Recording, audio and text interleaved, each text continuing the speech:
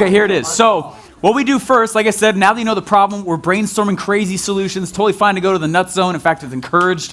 So, the next thing we're going to go through and do is you guys are going to make a prototype of your solution with Play Doh, popsicle sticks, glue, whatever you need to, the materials I gave you. Sound good? Okay, so even if it's a website, because when I was in college, my idea was for a website. And I had to make a website prototype out of Play Doh. Okay? Okay, now this is, this is super key. What you're going to do is when you have your prototype, the next step is you're going to take your prototype and you're going to look at it and go, I don't like you yet. Okay, I don't, go away. Okay, meaning don't fall in love with it.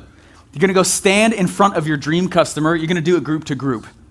And you hand over the prototype and you get bad kitty if you look at it.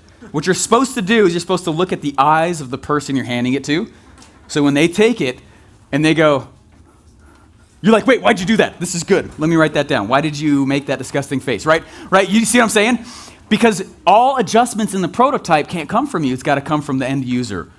Okay, so do not fall in love with your thing. Never, even your core product that you develop at the end of this now or whatever, always go in. I'm doing it now with you guys, by the way. And I'm watching how you're reacting with it, and I'm taking notes on it, and I'm going in and making adjustments to my offer or prototype moving forward. It's always a, a work in art, or a work in progress. Does that make sense?